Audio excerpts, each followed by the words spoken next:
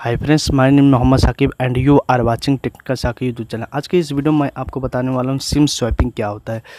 ये friends hacker भी हो सकते हैं या फिर स्कैमर भी हो सकते हैं। इसमें होता क्या है कि आपके पास कॉल करेंगे एंड उसके बाद आपके पर्सनल डिटेल को मांगने की कोशिश करेंगे। जैसे कि वो कहेंगे, सर, मैं एयरटेल कंपनी से या फिर टेलीकॉम कंपनी या फिर बैंक से मैं बोल रहा हूँ।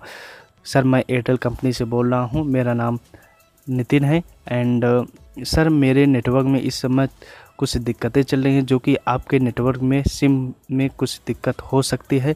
उसी के कॉन्फ़िगर के लिए मैं आपके पास कॉल किया हूँ। आप मेरी बात को ध्यान से सुनिए, आप पूरी बात सुन लीजिए, उसके बाद इस फ़ोन को कट कीजिए। पूछेंगे, सर, आप बता सकते हैं, आप कहाँ पे और हम लोग क्या सोचते हैं? हम लोग नॉर्मल बता भी देते हैं। सोचते हैं, ये क्या कर लेंगे? वो भी मोबाइल के ज़रिए से। उसके बाद फिर कहेंगे सर, ठीक है। सर, क्या मैं आपका नाम जान सकता हूँ? उसके बाद हम लोग अपना नाम भी बता देते हैं। कहते हैं, हम लोग यह सोचते हैं कि नाम बताने से क्या होता है? तो हम लोग अपना नाम भी बता देते हैं। उसके बाद आपको बात करते रहेंगे। उसके बाद आपसे कहेंगे, सर, आप यही, इसी नंबर पे आप अपने अकाउंट बनाते हैं।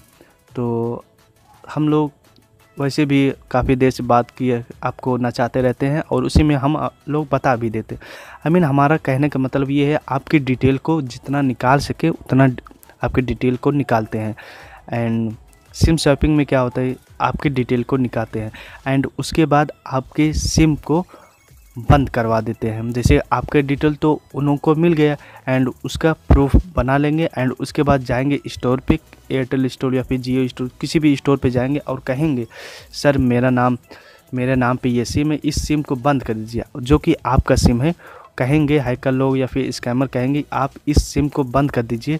मैं इसी सिम पर एक नया सिम लेना चाहता हूँ, जो कि सिम आपका चालू है और कहेंगे कि, सर, ये मेरा सिम है। आपका सिम वो बोलेंगे, मेरा सिम है। आई मीन हैकर बोलेगा कि, यह मेरा सिम है।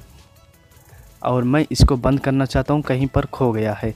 ऐसे वो बता देंगे, उसके बाद उस सिम को बंद करा देंगे, जो कि आपका सिम रहेगा एंड उसी पर एक नया सिम रजिस्टर करवा लेंगे।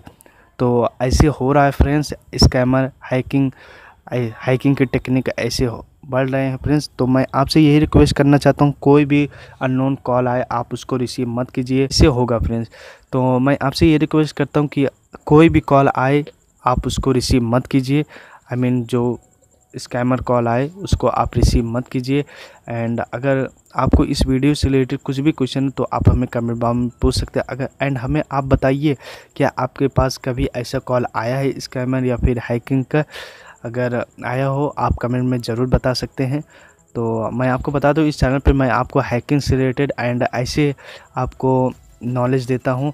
और टेक्नोलॉजी से रिलेटेड बहुत सारे आपके साथ नॉलेज शेयर करता हूँ। अगर आपने अभी तक हमारे चैनल को सब्सक्राइब नहीं किया तो आप सब्सक्राइब कर सकते हैं। आज की वीडियो में बस इतना अब मिलेंगे हम आपको नेक्स्ट वीडियो में, तब तक लिए बाय बाय